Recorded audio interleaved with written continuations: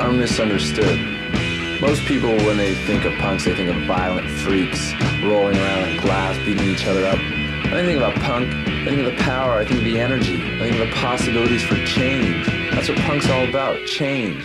It's about music by kids, for kids, reflecting the frustrations and the problems that kids face every day. Music most of us grew up with in the 70s was music by older people singing about partying and cruising, things that we just couldn't relate to. That's not what we were feeling in our lives. And the media, they've always exploited the scene. They've always sensationalized the negative aspects, the violence. They never talk about the positive things. So that's why we started the Better Youth Organization, because we felt that there was positive things and that they needed to be heard, and we were sick and tired of having this negative image. We want to put out a positive image. So this summer, we're going to go on tour across the country, and we're going to go and we're going to see the kids all over. We want to tell them that they can do these sort of things. They got to do it on their own because no one's going to help them. You got to be an individual. You got to get off your ass. You got to be heard. If you got ideas, you got to say them. You got to let let yourself be heard. Well, the Youth Brigade's a band with myself and my two brothers. Now, the Better Youth Organization is something completely distinct and apart from that. It is an organization that puts out records, puts on shows, and generally supports the scene and tries to help things go along in a positive manner. And last year we did a show, probably the biggest show in, in punk show in LA history. There's almost 3,000 kids there, and with the little bit of money we made off that, we bought a bus. And now we're going to try and do our biggest project. We're going to take the bus, we're going to go out on tour around the country, and we're going to take a band called Social Distortion, who we really like, and we think we'll get along well with. Social Distortion's been together about three years, and this will be our first tour.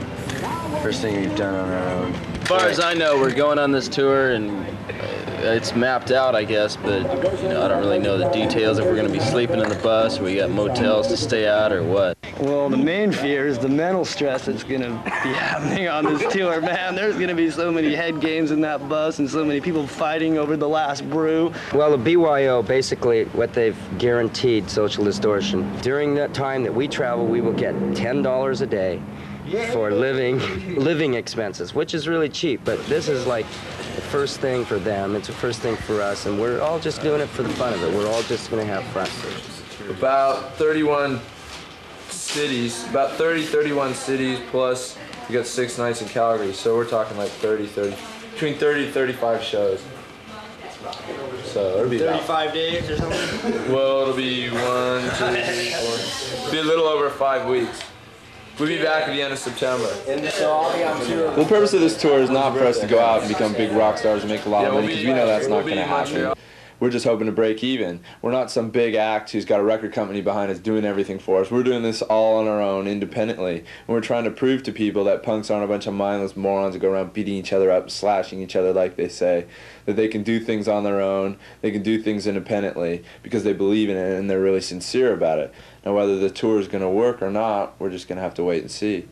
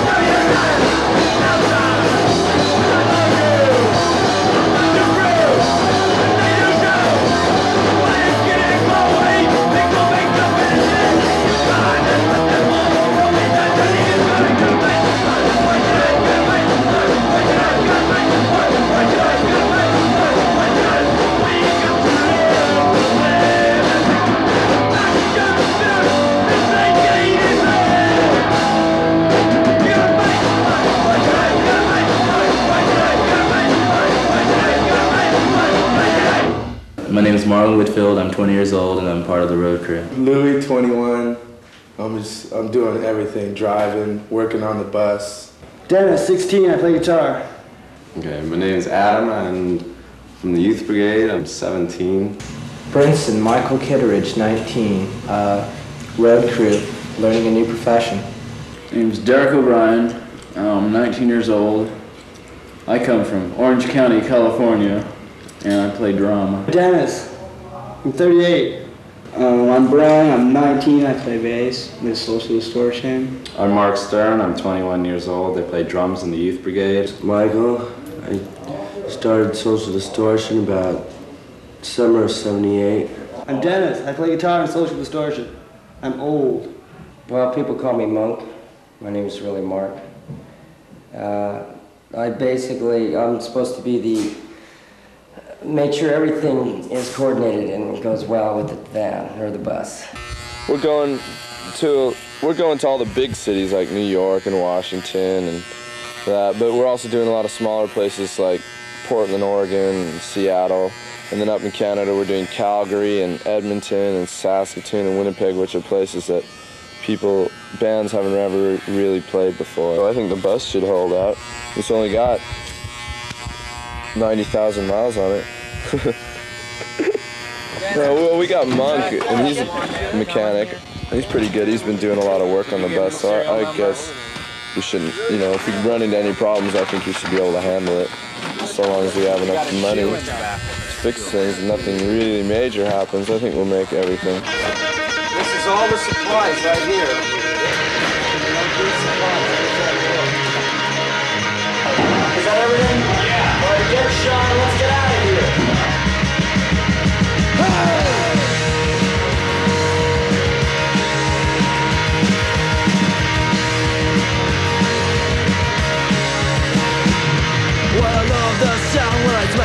Glass I get comfortable to kick my ass Mommy is worried the way I drink Daddy out the way I think Wake me up and tell me go to work.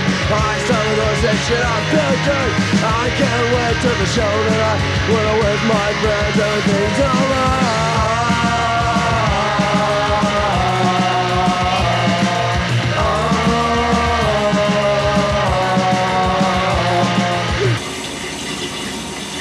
I do this every day. It's just not not only just for shows, but uh, just before you go outside into the world. Just it's just my look. A lot of people laugh, but to me it doesn't. There's nothing funny about it. To me, it, fashion is to me it's very fashionable, and it's a look that I've wanted for a long time. Most guys don't know how to wear makeup anyways. You know, guys naturally think you're gay because you have eyeliner, mascara, maybe little nail polish on. I just kind of like that sympathetic look when I'm on stage. It just it just looks more natural too. But it kind of like it looks as though you, you know you've been crying or something. Kind of makes have a sympathetic view towards you. Yeah, I'm really looking forward to tonight.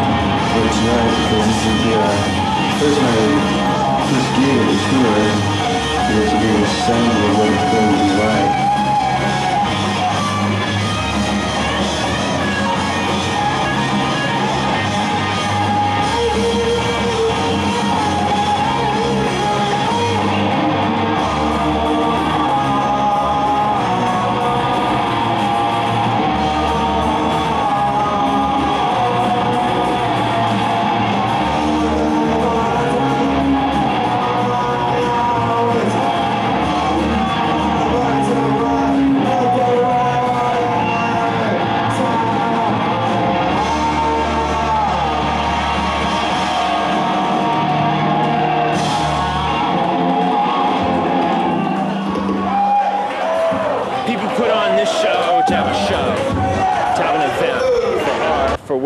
Fucking think, or whatever they call it. They put it on for the sake of that and not to make green. Anytime Steve Pritchard or any of these other assholes put on a show, they do it for the green. They do it to make money. And that's bullshit. The bands deserve the money. but half of it is the band's fault. The Cramps come through here and they play a bar, 21 and over. They ultimately eliminate three quarters of their audience by playing a 21 a bar. What the hell are they gonna play a bar for? Who can go see them? Their fans can't fucking go see them. It's bullshit. The bands have got to accept responsibility. That's a good thing about this show is the bands are out here. They're playing an underage show for nothing, man. Three bucks a head, it's nothing. The last time we played here, we got $250, and this time we got 40 God, we did a really good show. Everybody loved Hey, it. get this out the front, please. It was a lot of fun. I think it was a total success, except for the fact that the son of a bitch ripped us off. They ripped us off at first, then we had to hassle him for more money just so we could pay the PDs. This is what he gave us. Rolls of pennies. Fucking old fart.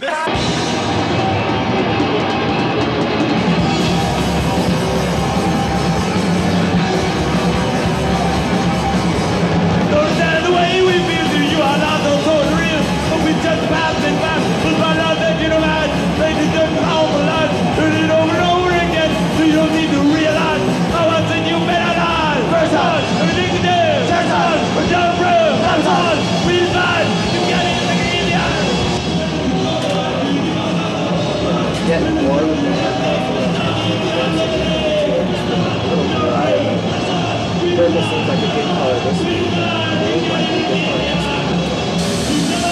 I mean, if I was a normal, a normal person working nine to five, I'd get kind of pissed off if I saw someone with blue hair. I mean, because you got to figure that that person, you know, leaves a pretty free and carefree life. Because you know, you can't go to work with blue hair; it just doesn't work that way. So they they get kind of pissed off because I can go and do what I damn well please, and they have to go to work every day. Which is, I think, it's a big part of why everyone dislikes punks so much. Because punks pretty much do as they please, you know. you define yourself in society to a large degree by how you look. And if I wear, you know, wore topsiders and polo shirts and something like that, I would define myself as the nice middle class kid who's ready to take up where my parents left off. And the fact is that I don't look like that means that I'm not willing to do that. And my look is a direct re- reflection of my attitude. I can no more change my look than I could change my attitude. I, I would feel unclean virtually going around looking like a prep. The reason why I look the way I do is because I don't like the quote unquote Brooke Shields look. I don't like the everyday all American girl. Okay, because I'm not. Well, when I was little, you know, most people like they grow up and they when they're little they when they, say when I grow up I want to be a doctor or whatever. I always wanted to be a clown, so that might have something to do with the way I look so strange. If I dress normal, you know, like preppy or whatever, I could be walking down the street and I could still get pulled over for just being black in like the wrong neighborhood, which has happened to me before.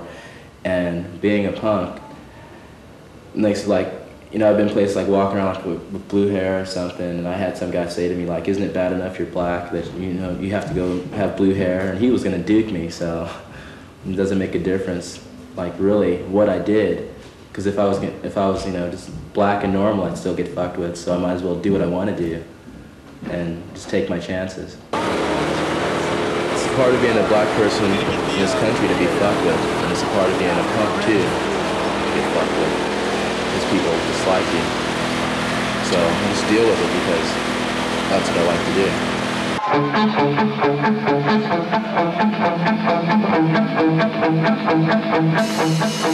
Tour's going really well right now. We're all having a really good time, and uh, we're just about to go into Canada.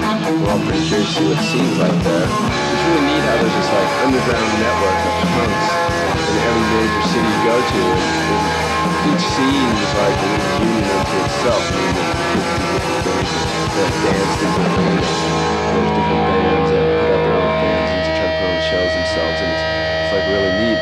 And now we're about to go into Canada, and we're really curious to see what the scene's like there.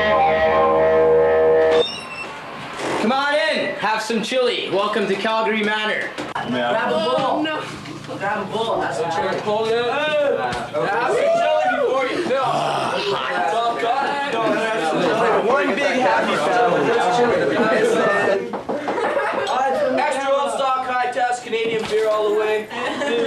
Six and a half percent alcohol. well approved. Canucks, Canucks. Canucks. Uh, get some chili into your drinks. That's great. Great. gonna be really One for the manor. Canada. This is the best place we've hit so far. Like, Hey, give me a beer. Even though the bikers are pretty scary. In the freezer. Oh We'll just like stay here till we play. Kids around here are great. I mean, this this house is great. They're giving us, made us dinner, skateboard ramp outside. Kids are the It's really cool out here. Like all the comforts of home. Yeah, it's like the best city we've been to all uh, As so far as the far. punks go, yeah. As far as the kids, yeah.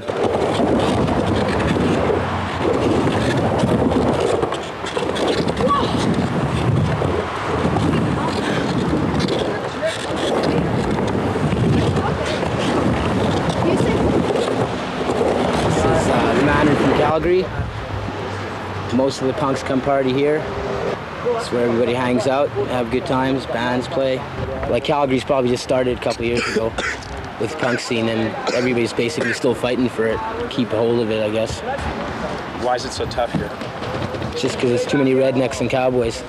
People are too narrow-minded, I guess, to uh, listen to other music. Or look at you and call you names and shit, want to fight you. So you gotta do it once in a while.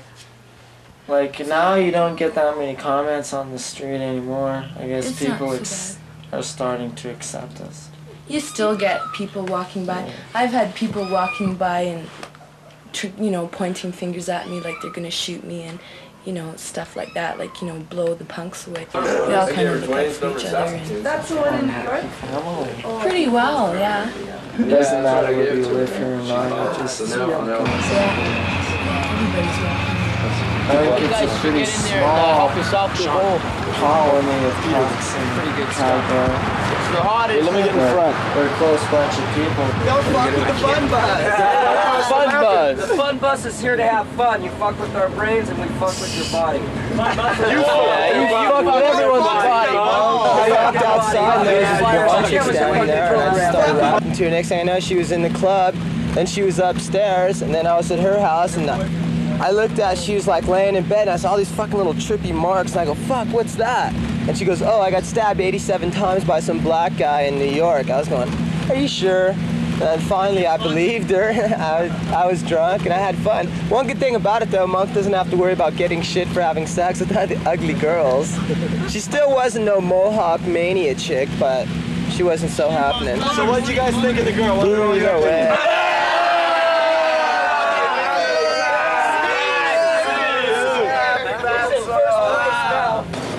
Why do you go up the fire escape? Why do I go up the fire escape? Because you don't go in the front of the bar. Because there's fucking these big burly guys up there that try and kick your ass if you walk through there. They say you're a fucking punk rocker and we're gonna kick your ass. So we we got one, we got first, second, and third stories right right off the fire escape. So we just go down the fire escape. The punks use the back door, so we just go into the back door, play. Never, that way we never have to go in the front of the bar. You know, at least we know we've accomplished something. If we bum their lives, at least we know we're opening their minds up a little bit. You know, that there's just not this stupid little biker world that they live in. There's other things going on around them.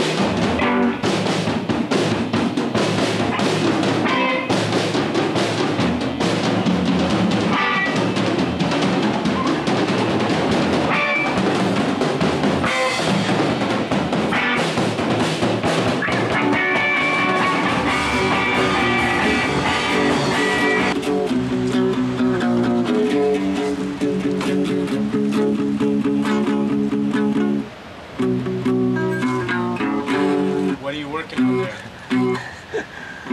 I think I've got a new song.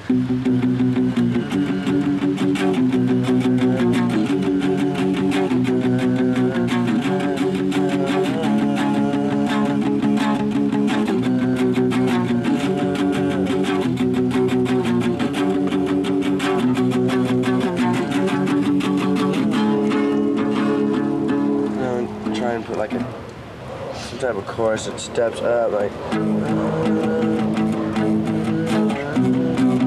That's about as far as I got. Any lyric ideas so far? No, I like to write.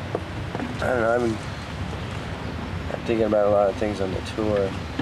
You know, I've got a lot of inspirations for writing some new songs. I thought of one title, something called um, "Another State of Mind." In another state, in another state of mind. That was, that was kind of witty. I'm playing a band. I'm traveling. I'm making money. I don't. I'm paying enough, making enough money to to live. So that's what I'm doing. I'm living, and I'm living my lifestyle. Yeah. Give me your average day. Average day. Uh, sleep in. uh, depends on what time I wake up. Watch um, Twilight Zone or something. Uh, eat. I watch General Hospital in Rockford. and then uh, you see, I used to watch. Then I'd watch like uh, uh, Mary Tyler Moore and Bob Newhart. I'd eat again, and uh, then I'd watch. Uh, I'd watch um, SWAT and then Kung Fu, then go out. Drink with my friends, go to a show or something. Nightlife.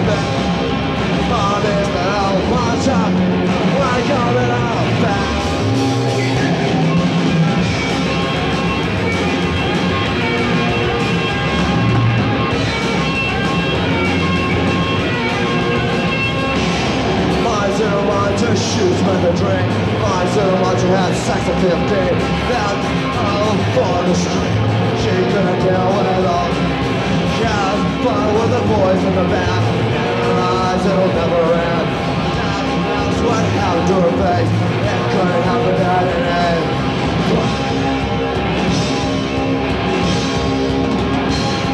Her eyes are a deeper blue. She likes her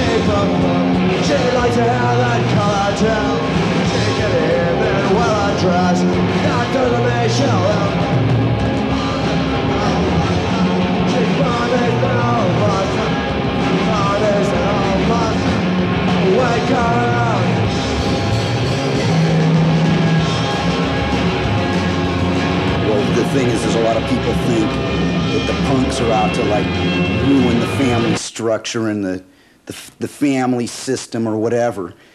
There's no family system to destroy because it's, it, was, it was already broken down. It's been falling apart for about the last 20 years.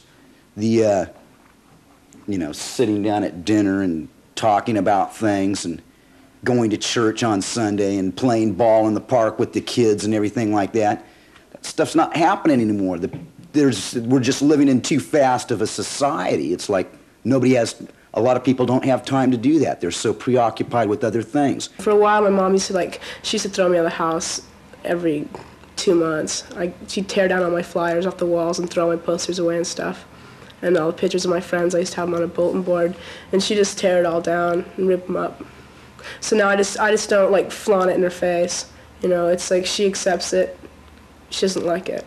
Well, my parents just think I'm weird. And well, my dad likes my hair. my ultimate goal in life isn't to be the nice capitalist tool which you know I'll get paid good money and get a nice suburban home and have 2.2 kids and have a nice have two cars and a nice dog and everything like that. That's not my ideal. I'm not willing to sacrifice my life to do that. And the fact that I won't um, is really, I think, threatening to a lot of parents. It's threatening. I'm sure it's threatening to my parents in a way. My parents actually are more open-minded than some, so I can say I can say that to a degree to them, and they don't absolutely freak out, but they still have a hard time recognizing it. And the fact is, to an in, increasing number of kids, punks and non-punks, the all-American dream is not is not a viable um, solution. Ouais, Marcel. Oh, one, two, three. One, two, three, four, five, six. One, two, three, four, five, six. Ah,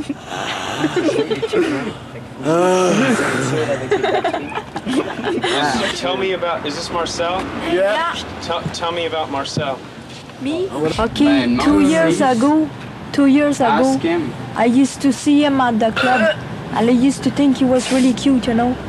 And he, like, he was walking, he was all nice, and once he got hit by a car, and then since then he almost died, and he went into coma and all this, and then all his friends came to see him, and when his when his friend came to see him, uh, he started to talk, and then he started to talk, and then he started to move, and soon he's gonna walk. Because, like, he's got willpower. He wants to walk again. He almost died, he was in coma, he couldn't even speak, and now look at him. He can move his hand, he can talk, he can go nuts and all this. He can even have a hard arm. Is that true, Marcel? That's true. That's true. That's true. I used to go and beg and snatch purses and beat up faggots with some friends of mine to get some money to go eat or get stoned, you know. And uh, I like it better. I wouldn't like to be rich because I'm happy on the street. Because on the street I am myself. When I wanted a place to stay, I go in a in a club where stupid cunts go there, and I go see a homeless people like go see for homeless people and then I say to them oh I have no money nothing to eat and stuff like this. And then they feel sorry for me and then they make me eat. And then after a week they make me eat. And they give me a place to stay and then they want to screw and then I tell them to fuck off. And then I go for somebody else. Always like this. Always find my way. I am scared of people because people are scared of me because they think I'm gonna beat them up. I'm not gonna beat them up. What do your parents think of all this? Oh my, they just don't like me anymore. Because I used to be another person years ago. I used to be the nicest person you ever met. I used to be good at school and all that stupid stuff. But I found out by myself that it was not right for me. That even if I was good enough for school and all this, I didn't have to go and show up good notes and all this. What made you change? It's just that I was tired of doing what people wanted me to do. I just wanted to do something I could figure out myself. I do not want to harm nobody. I want them to live in peace and to make me live in peace. I am gonna die in about in two years. So I want everybody to come and see me at the funeral. You're gonna die in two years? Two years. Why? Because life is not amusement for me. I do not like to live in this kind of life. Well, this is kind of like the worst it's been getting on the tour. I mean, the last couple days we've been breaking down, and it's like starting to get really bad in this in, in Montreal. I mean, the weather's pretty bad. We've been running out of money. We've been having the bus has been breaking down. We've been having to spend money fixing up the bus, and things are getting kind of fucked. Everyone's starting to complain and, and grumble about not getting enough money. We haven't been getting paid at all the gigs. Like tonight, we haven't been getting didn't get paid all our money, and then I don't know. It's just seems like things are just kind of starting to fall apart. And then to top it all off, we go to this these guys who put the show on. We said we were hungry, we wanted to go get something to eat, so they take us to this taxi joint that says open. It's like three in the morning. We go in there, and this this lady, this French lady, this old ugly lady, wouldn't serve us. She wouldn't even speak to us in English, and we knew she could speak English. We knew she understood what, what we were saying. And then she calls the cops on us, and the cops come and kick us out. We didn't do anything. All we wanted to do was buy some food. They wouldn't even let us eat. It was totally ridiculous. Hey, madame, sta segnando Film that hooker who Why just would she, why would she let have a cup of? Ça, c'est Canal 12. I don't. Why don't they check you out? They don't, probably don't believe you're from America. So we all leaving? Yeah. Well, do we have a choice? No. Hey, get, get her, get her. She looks neat. She looks Smile on the camera. The whole world is gonna see this. She's crazy. She's, I guess she's afraid of us. She thinks we're, we're gonna come in there to fuck with her or something. That's just the way people, it's a, it's a normal reaction to a lot of straight people who've never seen punks before. They just think you're there to fuck with them or to intimidate them or something, you know. And a bunch of kids come in, they're kind of noisy and stuff. Maybe she gets scared, but we, all we wanted was to eat something. She wouldn't even give us a cup of coffee or, or anything like that. It was totally ridiculous. Come on, boys. Oh. Whoa, I've got hives on my house. Lady's a witch. the money situation is starting to get pretty down and people are starting to get on each other's nerves. This money makes a big difference, I guess, which is a pretty sick thing to think about, but unfortunately it's true. When you're hungry and you don't have any money, the best things don't look as great as they did before. What about like unity? What about unity? If you're hungry, nobody's unified. you know, if you got nothing to eat, there's nothing to be uni- unified about. You can't can't be fed on unity.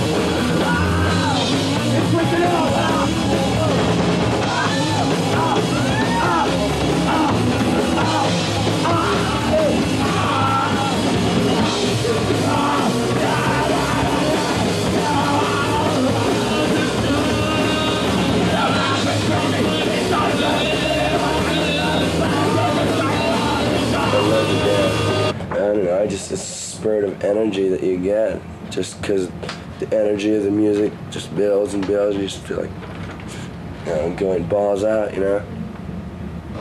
And that's why I did it. Some people call it slamming, and some people call it pogoing, and some call it the skank. But uh, I just call it dancing because that's normally what you're doing. Like this one, they just call this more or less a slam. It's just keep going in a circle with, mo- with keep moving your arms and stuff, and just bouncing off people, pushing them away. Then you'll see people stepping up through the crowd like this, pushing people off them as they bounce into them. And then also, there's also people, you'll see them, they'll be doing the pogo. They're usually pretty close to the stage. And you keep moving around in a circle like this, because that's the way the pit moves is in a circle, people jumping off stage, you push them away and just try not to get out of that circle, because if you do, you get out of the beat. And that's where the energy's at, is in the beat.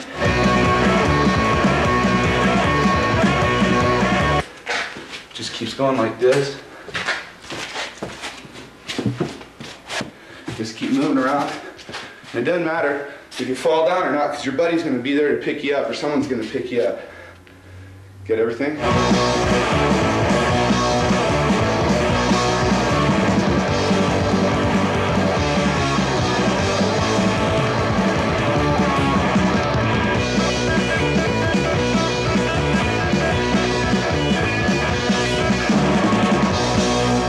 Well, the slam dance is just a real aggressive type of dance. It's almost like, you know, something you would see in a football game.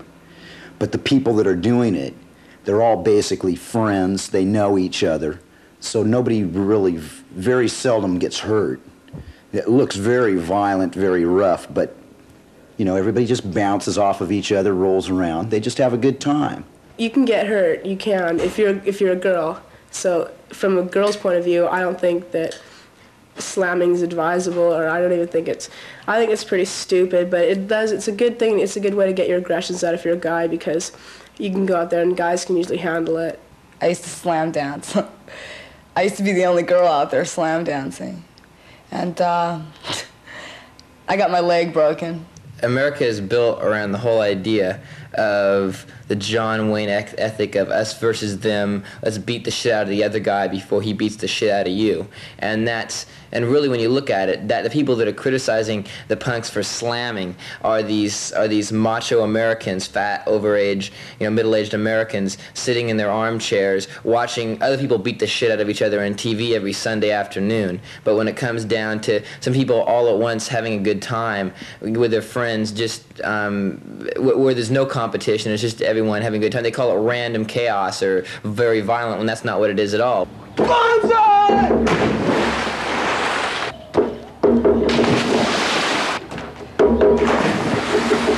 Okay, well, we come out here on weekends and practice stage dives, and because sometimes if you're at a gig, you can get hurt if the, if the crowd splits, or you know, you try, mostly try to land on your feet or toward your feet or your butt, so you don't really crack your head open when you hit the ground. When there's no gigs happening, we just go here and just let out our aggression because of school and parents and everyone. Mm-hmm. It's, it's just something to do. If you fall or when you're slamming, if you fall down, everyone stops and they help you. They pick you up, you know, they make sure everything's okay. And if you're hurt, you know, they're going to help you out. Well, sometimes you try to land like not feet first into people, because I've landed feet first in somebody's head and got beat up for it, and it wasn't too much fun.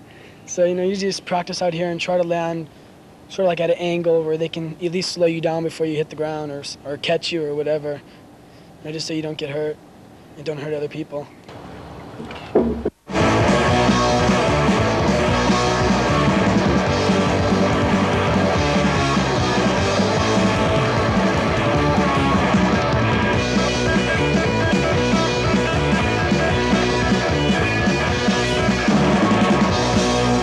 Some kids say that when they're out dancing at a punk show that it's not violent, but that's really a joke because it is violent. The whole nature of the dance is violent. The way kids swinging around, it just looks like they're beating each other up. The thing is, is it's not a malicious violence. It's not really, it's not negative. They're not out there to hurt each other. They're out there getting their aggressions out. I mean, they got a lot of pent-up angers and hates and frustrations and like a lot of things about the world that piss them off and it's just a release, an energy release.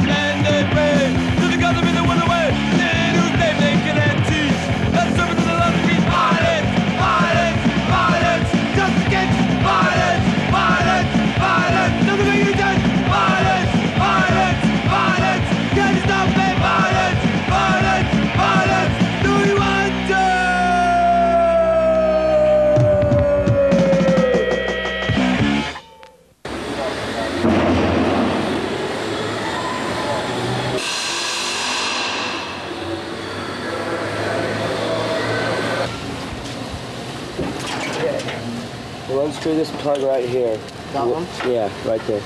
And we'll fill the gearing box fluid so we don't get the jaw wobbles again. No more jaw then- wobbles. It's like not in, It's not in tune. Like, like. And then just, okay, this is how the chorus can either go, you know, from A,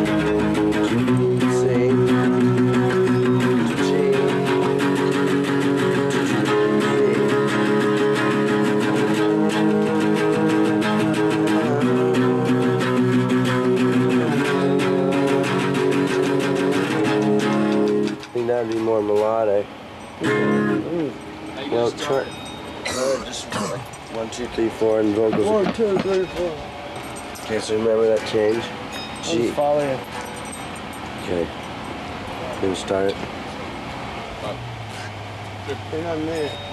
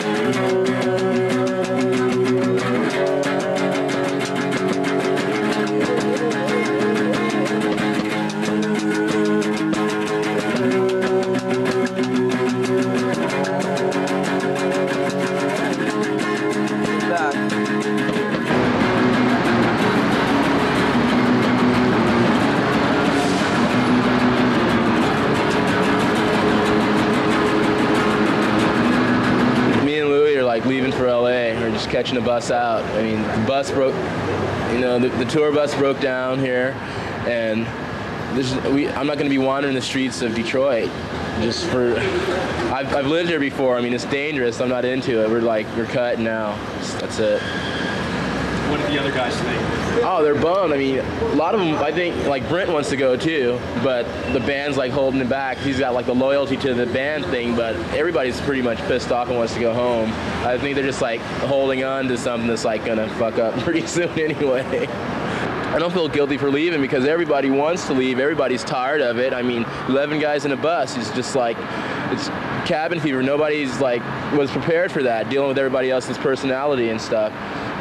And I just happen to have like a way to get home. People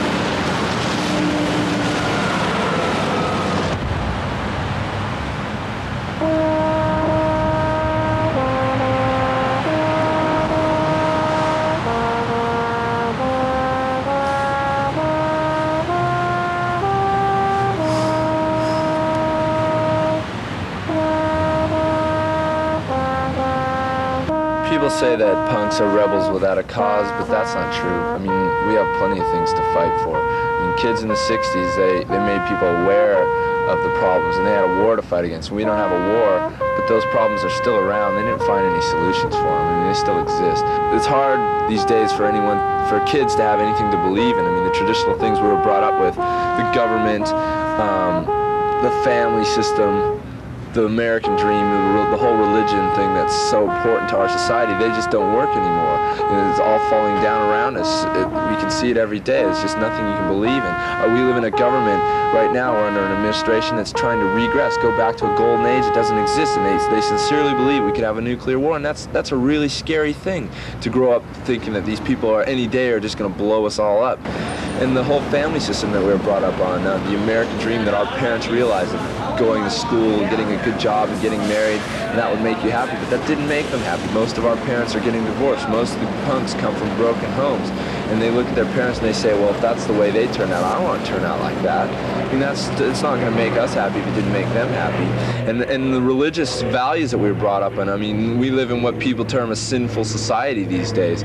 Those religious values that we were brought up in, they just don't exist. Most of us are look at ourselves as individuals and um, as far as following some sort of dogmatic religious values or code, we, we just won't do that anymore. How many times has someone come to you and said, friend, what you're doing to yourself is wrong? The way you're living is not right. You need to turn around. Has anyone ever said that to you? And what was your reaction? Did you just go ahead right on and do whatever you want to do? Or did you listen when people try to tell you that you're making a mistake? You know the devil will get you to go to any extreme. The devil loves extremes.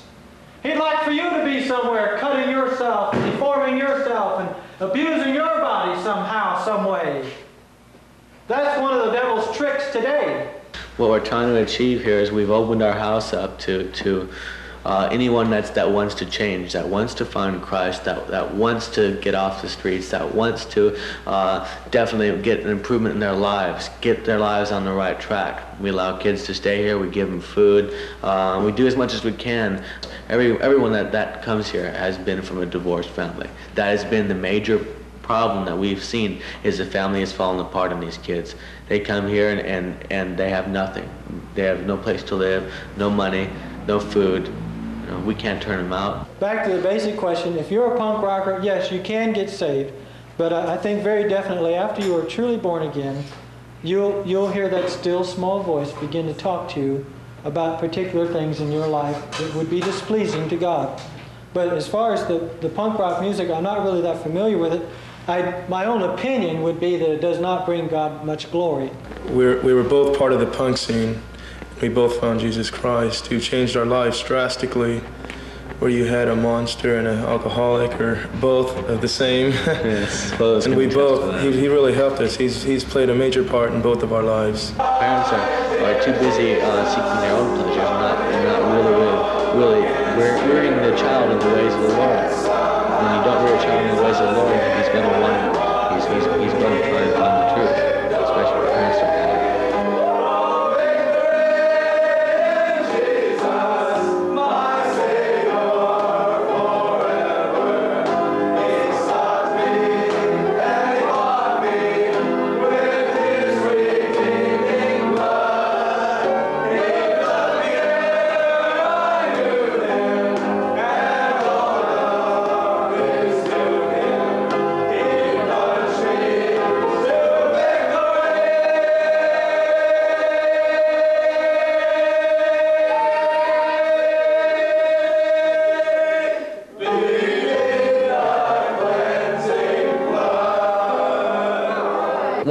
Presets of punk is that is that you don't accept the is that you don't accept morality just as a code of rules for no reason without thinking about it. Is that morals and, and institutions stuff like that should be questioned just like everything else should be.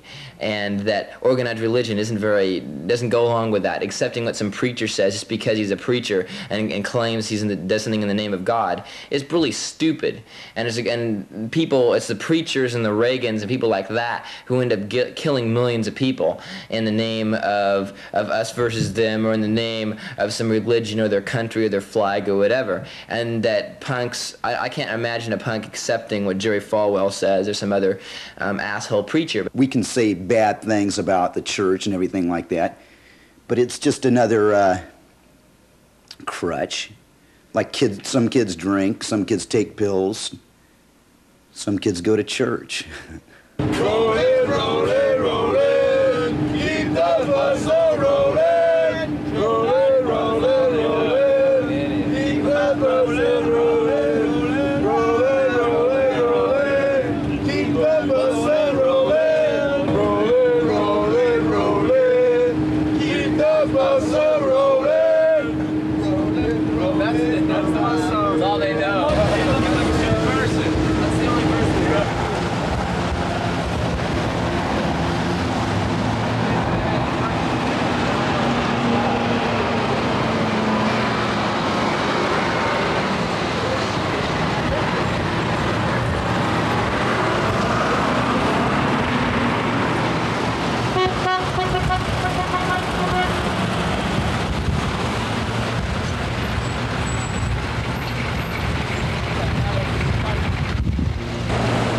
distributor's not turning, man.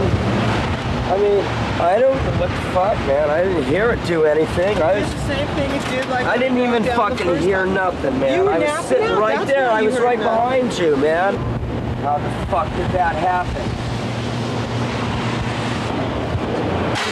Wow, things are tough all over. Oh, where's the telephone? I'm gonna call Giovanna up. Fuck you then, you sleep outside, dick. We're at Constitution and 12th, right around the corner from the Washington Monument. Yeah. This is a one big ugly yellow bus. I think we better buy ourselves a brand new Mack truck.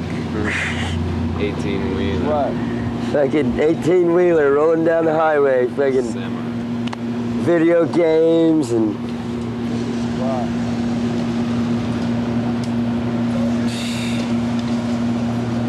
It's a good thing we're a mobile society. And they already went out and bought hamburger meat, rolls. They got beer from the basement, a couple cases. So you, me, and Brent are gonna style. Uh, shine the rest of the rats in the sinking ship.